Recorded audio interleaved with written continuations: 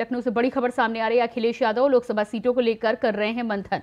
सपा कार्यालय में नेताओं, कार्यकर्ताओं के साथ बैठक जारी। 19 सीटों पर अभी भी घोषित करने हैं समाजवादी पार्टी को प्रत्याशी। दावेदारों को लेकर अखिलेश यादव कर रहे हैं समीक्षा। दावेदारों को लेकर अखिलेश यादव कर रहे हैं समीक्षा। उन्नीस सीटों पर अभी भी समाजवादी पार्टी के घोषित होने हैं प्रत्याशी अखिलेश यादव। तमाम पार्टी के कार्यकर्ताओं के साथ, नेताओं के साथ कर रहे हैं बैठक। तो सपा कार्यालय में नेताओं, कार्यकर्ताओं के साथ बैठक जारी। समाजवादी पार्टी की बाकी बची 19 सीटों को लेकर समाजवादी पार्टी में मंथन जारी। 19 सीटों पर अभी भी घोषित करने हैं प्रत्याशी। दावेदारों को लेकर अखिलेश यादव कर रहे हैं समीक्षा।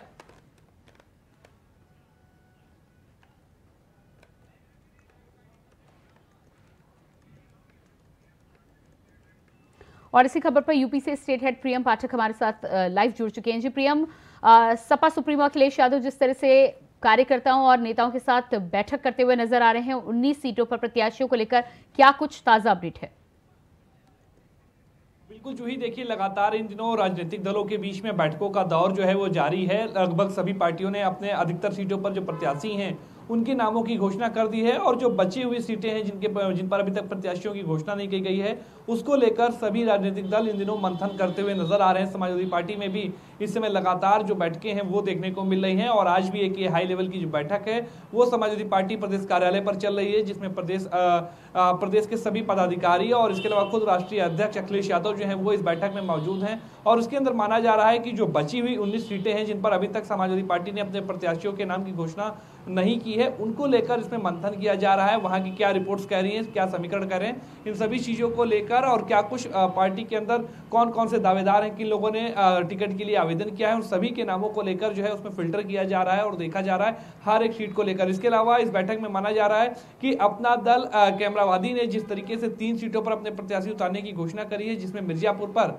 जहाँ समाजवादी पार्टी पहले ही अपने प्रत्याशी की घोषणा कर चुकी है, राजेश एस बिंद की, वहाँ पर भी मिर्जापुर सीट पर भी जो है वो अपना दल कैमरावादी जो है, उसने अपने प्रत्याशी को उतारने की घोषणा करी। तो उसको लेकर क्या कुछ किया जा सकता है?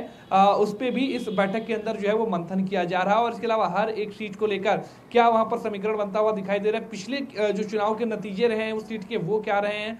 वोट परसेंटेज की बात की जाए कास्ट वाइज वो वहाँ पर क्या है? इन सभी चीज़ों को लेकर इस पर मंथन किया जा रहा है। पूरी माना जा रहा है कि लिस्ट तैयार है और जल्द ही माना जा रहा है कि आज इस बैठक के बाद में समाजवादी पार्टी बची हुई सीटों पर भी अपने प्रत्याशियों के नाम की जो सूची है, उसको जारी कर सकती है। कौन कौन से वो नाम होंगे? हालाँकि इस पे ज़रूर सभी की निगाहें बनी हुई हैं कि जो उम्मीदवार हैं वो कौन होंगे क्या समीकरण पार्टी अपनाती है पार्टी के लिहाज से कौन से समीकरण जो है वो इन सीटों के लिहाज से फिट बैठ रहे हैं? इन सभी चीज़ों को लेकर मंथन फ़िलहाल अभी जारी है।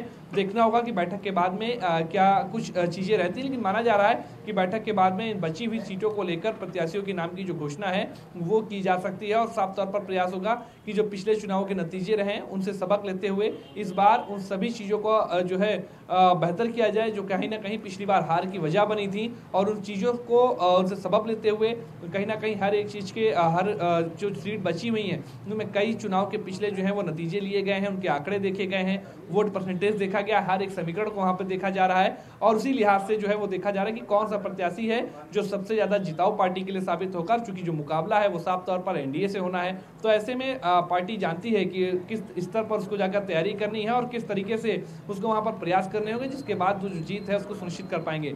तो लगातार कह सकते हैं मंथन जारी है और इसीलिए समाजवादी पार्टी कार्यालय में भी आज अखिलेश यादव मौजूद है, उनके साथ में अन्य पदाधिकारी जो है वो मौजूद है, उसमें वरिष्ठ पदाधिकारी और वहाँ पर इन बची हुई सीटों को लेकर मंथन अभी जारी है। जी, बिल्कुल, आप बने रहिएगा हमारे साथ, प्रिया।